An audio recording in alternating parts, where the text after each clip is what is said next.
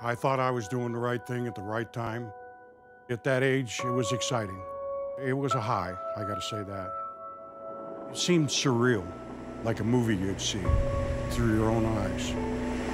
It wasn't until 1980, five years after the end of the Vietnam War, that the condition post-traumatic stress disorder was even identified. One minute we're in combat, next minute we're back home. It was just too much. You get so far down that you can't climb out. And that's when you either get help or that's it. It's very uncomfortable for him to talk about Vietnam. So by going there, I'll get to know a bit of his history. He'll be able to just show me, which may be easier than just talking about it. He brought something back from Vietnam. He's carried it with him for 40 plus years now, and I think he's going to leave it behind. I hope he can.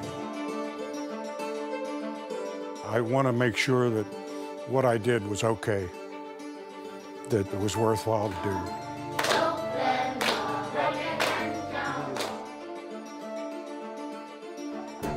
Everybody says, Who's your hero? And I'm like, Well, it's my father. It's the guy that taught me how to be who I am. Quitting is not an option. You will go to the failure point. Everything's changing. I'd also like to see what happened to those units that were left behind.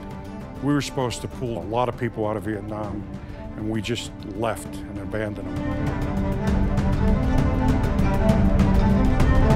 I have been waiting 45 years to come here.